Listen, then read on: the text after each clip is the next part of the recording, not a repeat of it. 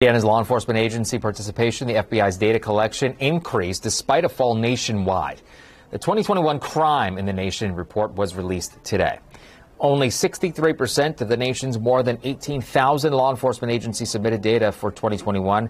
That's the lowest level of participation that the FBI has reported since at least 1979. Only 50, 52% of all agencies submitted a full year's worth of data.